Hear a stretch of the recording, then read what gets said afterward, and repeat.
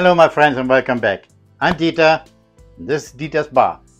Okay friends, today I picked a specialty whiskey for you because uh, the first time I saw it I didn't know this company exists and while I was on a hunt for a, a bourbon or a Scotch whiskey, I ran over it, I said let's try that and make a video out of it.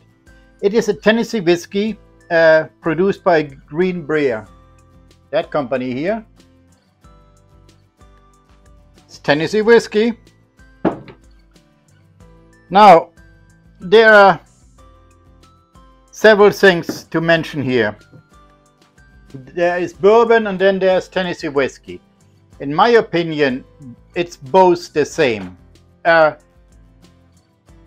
what's now called Tennessee whiskey was back in the old day was called bourbon. And then uh, legal remedies eventually gave the authority to call something bourbon to one side and Tennessee to the other side.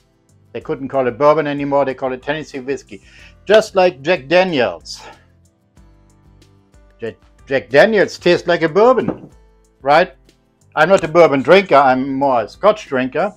But in my opinion, the Tennessee versus the so-called bourbon, in my opinion, it tastes all the same. It's all in, they, they don't taste the same, they're totally different tastes. But what I mean is they're in the same category, you know.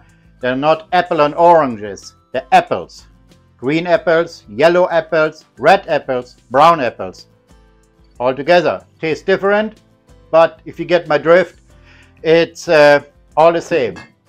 Apples are apples. Of course, then you distinguish between the taste, you know someone like the Jack Daniels. Other people like this stuff here. So it's a matter of taste. Now, now we got another Tennessee whiskey.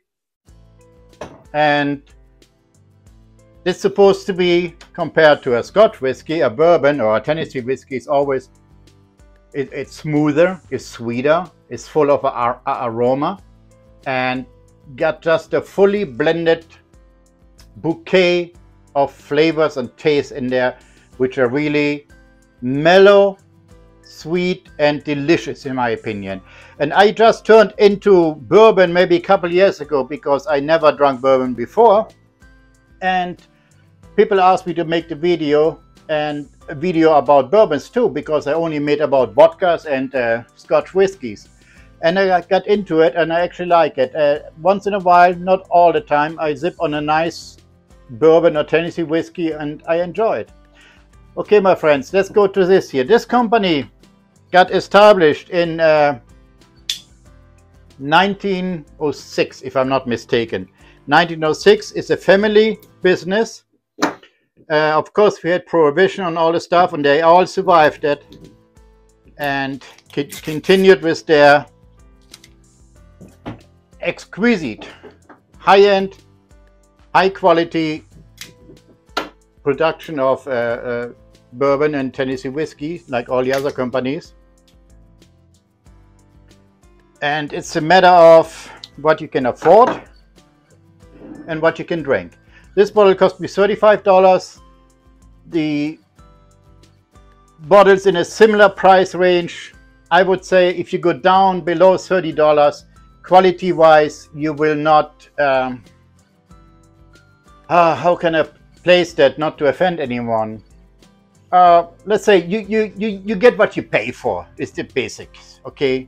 Especially with bourbon. So higher you go, like into the Dickels uh, uh, distillery, they got one of the best bourbons you ever gonna get, all right? Their mash bill is absolutely stunning, delicious, out of this world, and I think it's one of their, the, the select barrel, one of the best bourbons you can get, the best bang for your buck, so say. You know, I mean, you really got to pay to get good stuff. You can pay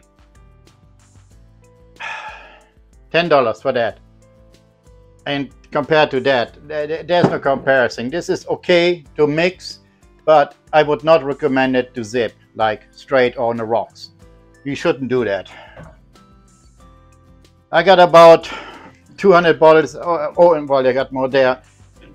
Over 200 bottles and nine out of 10 times when I uh, pay a good amount of money, you get good quality spirits.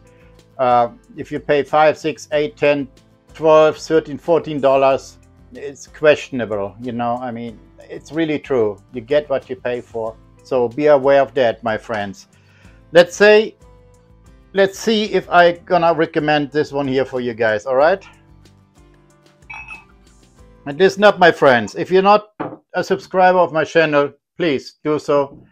Tell your friends about it. Let them know. it's gonna be a fun channel. I this is actually my second channel. I had another channel with 4,000 subscribers and and uh, uh, tons and tons of, of, of, viewing hours, millions of views. Uh, I think I had like 12 million views, all in within two years. And then of course, as YouTube, they didn't like what I said and they just shut the channel down from one day to the other day. So I'm doing it again. Only bar videos, no more satire videos or anything like that, like I used to upload there too. Those are on another channel, which is on Rumble. You can find me there. Same name, Dieter's Bar, Dieter's Podcast, and I hope I see you there. All right, my friends, let's go to the nose first.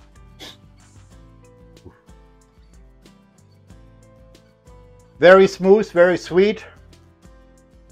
Lots of caramel, kind of like Christmas smells you get when you bake cookies, the cookie dough, the, the cookie smell, the brown sugar, Oh, I think there's going to be a good tasting spirit here. Especially the family distilleries.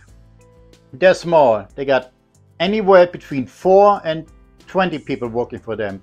Compared to huge companies who got like 200, 300 people working there, you know. They really take pride in the quality, quality control by hand not by computer or oh, it's got to be good, it's got to be okay. Computers make mistakes too, you know. Personal involvement, tasting, smelling, looking at it, visual. This how you got to do it. Small but good, not quantity. Quality is important in, in spirits like that. All right, my friends, go to the taste.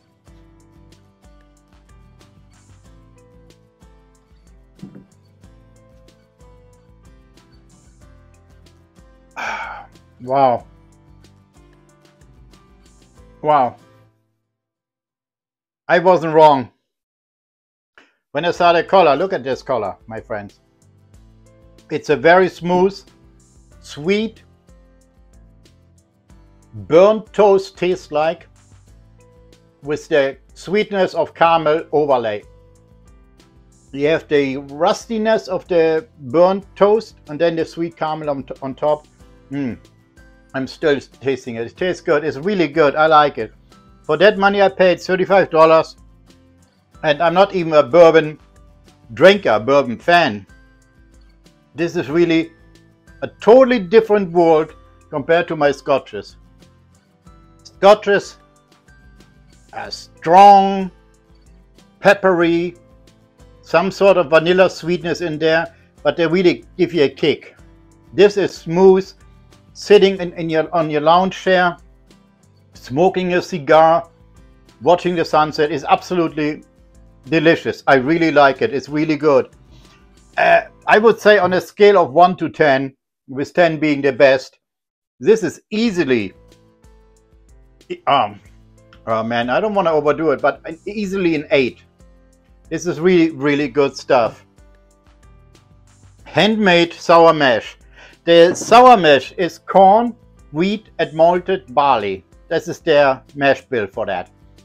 And then, of course, it gets put into barrels and sits there for several years. I think it's four years for this one here before it gets bottled up and then shipped out to get distributed around the United States.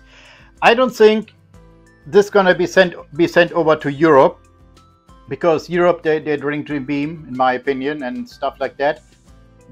Finding a good bourbon over, for example, in Germany, where I'm from, is really a task.